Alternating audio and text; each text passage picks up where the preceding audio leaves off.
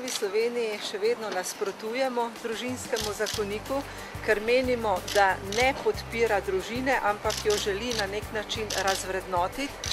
Tudi slovenska javnost se ne strinja s tem uh, družinskim zakonikom in mislimo, da tukaj manjšina hoče uveljaviti svojo voljo.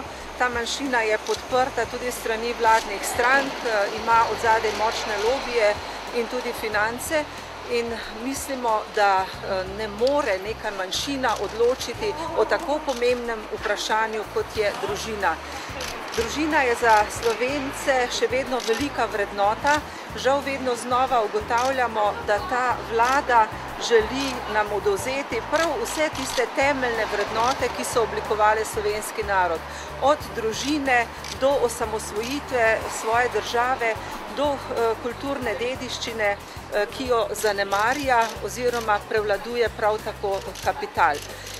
Tudi s tem se ne strinjamo, da bi lahko istospolni partnerji posvojili biološkega otroka svojega partnerja, ker menimo, da za psihološki razvoj otroka vsekakor ni dobro, da ima dva očeta ali dve mami. Če ima nekdo otroka rad, ga ima lahko tudi, ne da bi bil njegov posvojenec, če mu želi zapustiti premoženje, mu ga lahko zapusti tudi na drugi način. Če želi skrbeti zanj, bo zagotovo dobil tudi dovoljenje biološkega starša, da lahko zanj poskrbi.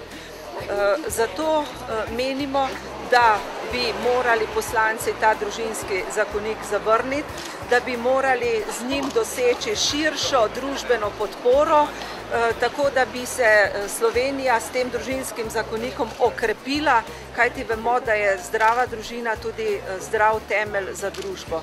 In nekako ne moremo izenačiti istospolne skupnosti z družino, klasično družino, ki je vendarle pomeni nek, ki je nek garant za obstoj naroda.